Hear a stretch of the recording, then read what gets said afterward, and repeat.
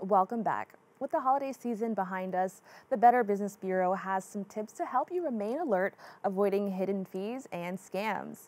These can range from holiday return fees to romance scams as we approach Valentine's Day.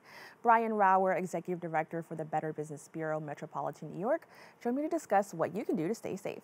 Brian, thank you so much for joining me. My pleasure. Thanks for having me. Now, for those who aren't familiar, can you just talk about the Better Business Bureau um, and what is the overall goal of this organization? Um, we really have a mission of an ethical marketplace where buyers and sellers actually trust one another. So we do this in a lot of ways. We like to provide impartial and neutral information through things like our business profiles. Uh, we maintain tens of thousands of business profiles in just the metro New York area alone. And we'll give people a lot of information, such as a three year complaint history. We'll tell them how businesses have responded to this information.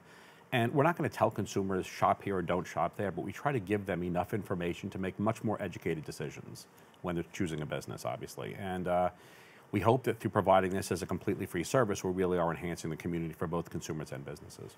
Now, one of your initiatives is targeting and recognizing scams um, or places that may have hidden fees, especially those or um, anything like around or after the holiday season. Can you expand on the challenges consumers face with the rise in these types of scams? I will tell you, in recent years, we've seen a huge influx in online scams, particularly with COVID. And once we went on lockdown in 2020, people are spending a huge amount of time online. They're banking online, they're paying their credit cards online, they're shopping online constantly. So, shopping online has become a huge issue. It's led to a lot more scams. And this is exacerbated in the holiday season often you have hard to find products and you'll see phony websites pop up that suddenly have these products. They have the better prices than anyone else does. In many cases, they're complete scams and you're getting nothing. Um, or you're getting a cut rate product. And the problem is, is that you can't get a refund on a product when it's a scam site, obviously. Um, the goal is often to either download malware onto your computer or to steal your identity because you're giving them your personal and financial information. You gave them your banking information, your credit card information. This leads to many more scams, unfortunately. But even for the legit sites, obviously, um, or the more legitimate sites, there can still be a lot of problems if you don't understand their policies, if you don't understand how you can get a refund if you have a problem. Even if you've worked with this business before, policies change over time. So make sure that you know their current policy. And by the way, in New York, people seem to believe that you have an inherent right to always exchange an item or get a full refund. This is not true.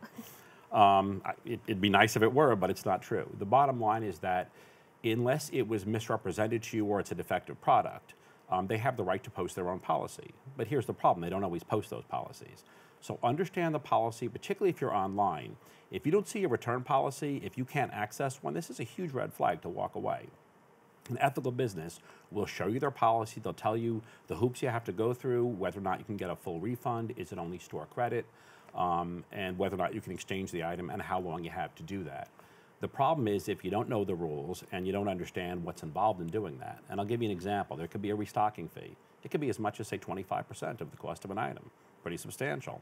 What about shipping and handling? Suddenly you're paying for restocking and the cost to ship it back. You may not be very happy with what you get in response once you try to return a product. So if you're online, find out can you return it to a brick and mortar? Um, and therefore save the shipping and handling on that. Um, who pays for that anyway? Um, find out exactly what's required and exactly what the rules and regulations are so you can follow those. By the way, do you need to hold on to your packaging? In many cases, they won't accept a return without packaging. Um, and uh, if you do, and if you do have packaging, obviously, are they still charging you again to ship it and handle it back to them? So make sure you understand the rules and regulations before you pay that price. And I'm so glad that you mentioned that. I think because this is something that pretty much everybody has probably ran into at some point, um, expecting that they can get a return or exchange, and they say no, only store credit. And I know so many people have been upset with that. Um, and this is just uh, something that happens often, especially I'm assuming after the holiday season. Can you talk about maybe gift exchanges? I know that uh, like sometimes if somebody gives you a gift, there's like a receipt and you can return it. Um, does this apply to that as well? I mean, hold on to your gift receipt and ask your friends and family if they're giving you that, can I please have a copy of that gift receipt? In many cases, store policies require you to have a receipt, proof of purchase. And if you don't have that, you're out of luck. Um, in many cases, they want to, if you go into the brick and mortar store, they want to see ID. So if you're not the purchaser, you may have to ask your friend or family member who gave you the gift if they wouldn't mind accompanying you or doing the return on their own. I know that's awkward. um, I understand that, but the fact is, if you want to return, in some cases, that's required. So again, before anyone makes that purchase, understand the store's rules and regulations, and they're supposed to tell you beforehand. And I will tell you this if the only time you find out that there are no refunds is after you've made the purchase, that's a hugely unethical business practice. You're not permitted to do that. You have to know you can't return a product before you make the purchase, not after the fact. So make sure you understand before you make the purchase or before your friends and family make the purchase. Encourage them to find out the rules. Now, what can, well, as the new year begins, I want to say that many people actually feel inspired to start their health and weight loss journey. Um, I, we know that this is like a really big thing for so many people. What are the scans or um, maybe some gray areas that are associated um, as we kind of head into that new year, like where people are kind of wanting to change uh, their health and eating habits? I will tell you, um, we have seen a huge influx in reported scams in this area just over the past year um, with BBB. Uh, and I will tell you, um, one of the biggest issues we see are something I will call subscription traps. You are signing up for a free, free in quotes, um, trial period, and in many cases, free is absolutely not free. You think you're making a one-time purchase, or it's a, just a trial period, and then it ends. But in many cases, it converts to a subscription, a monthly subscription. And how do you find out? Well, you check your credit card months later, you see you've been charged each month for something else. So you thought you were spending 50 bucks on a product or service or nothing, and it turns out you've just spent hundreds of dollars over the course of several months until you unwittingly discover it. Um, the problem is that often this is buried in the fine print, or mice type as I call it, where you don't really see it, or, it or if it's online, it could be two or three screens away and you never click through to find out this information. So before you accept the free subscription, make sure you understand all the rules and all the regulations involved in that. Is it an opt out? Do I have to cancel it myself? Is it going to continue? Or does it just stop after, say, two weeks when they said it would? And if you're making a one time purchase, make sure that it is truly a one time purchase. Read the fine print. What exactly are you agreeing to do? That's a big problem. Now, during this time, I want to mention that we see many independent businesses or entrepreneurs offer classes, regimens.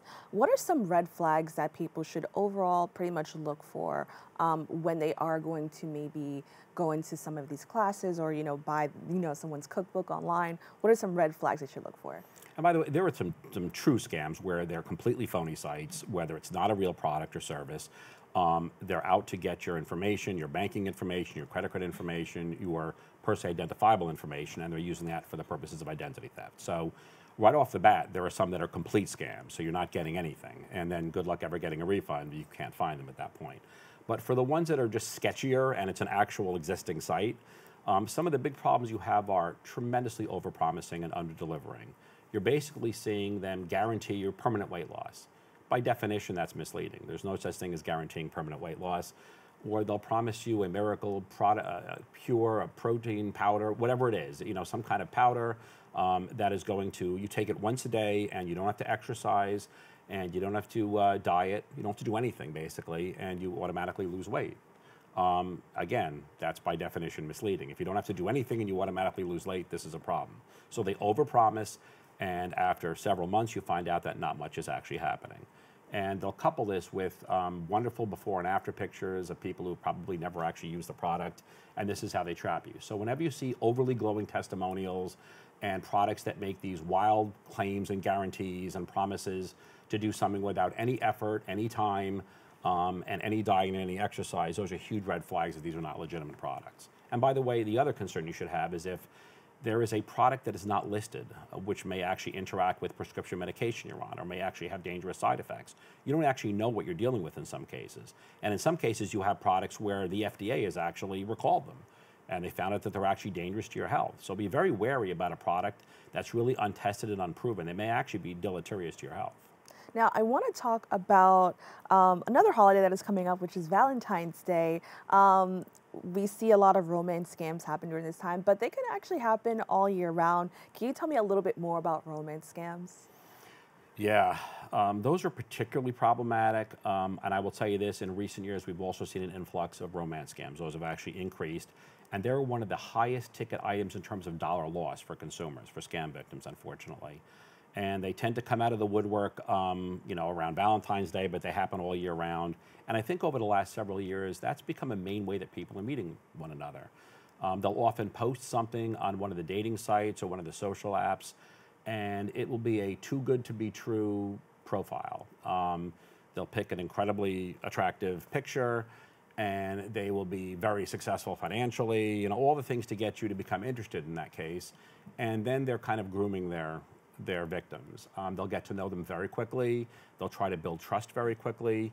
Um, they'll perhaps buy them little gift, you know, little gifts, flowers, or things that are fairly nominal, but to show them that they care. They'll build up a trusting relationship unusually quickly, to the point where they're telling them they love them in a very short period of time to gain their trust. Uh, one of the things they also do is try to separate you out from friends and family. Um, tell you if they're criticizing them, then they're simply trying to break us up anything they can do to keep you from checking them out. What I would say is that anytime they try and immediately get you off the app quickly, the dating app quickly, um, whether it's through uh, texting you or phone calls, they don't want to be discovered on the app and have them be kind of outed on the app, so they'll try and take you offline.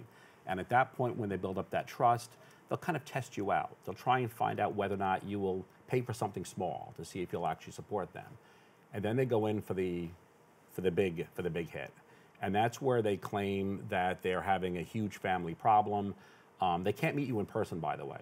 They can claim they're in the military, they're stationed overseas. There's always an excuse not to meet you in person. And at that point, there'll be a problem. They need surgery. Um, they had a car accident. They can't pay their bills. Or they really want to meet you in person. Can you go ahead and wire me the money so we'll buy a ticket and I can come see you? And again, this is all a scam. They're just trying to get you to trust them and to pay you pay this over. And I will tell you, if anyone ever tells you they want you to wire money or use a prepaid debit card, you've never met them before, do not do this. It is a huge away. red flag. Run away as right. fast as you can. This is a complete scam. As a general rule, whatever they do that, that is their preferred method of payment, by the way, because you'll basically never get your money back at that point. Right. They don't want a credit card because you can challenge a credit card. Right. Uh, they want to make sure that they're in a situation where once they get you once, they can go back and get you again. And what's really insidious is that there have been times once they've been discovered, they will then come back to you and pose as law enforcement oh, wow. and claim they've actually caught the person who's done this to you. And for several thousand dollars, wow. they can help you get your money back. So the scam continues and the circle continues on and on.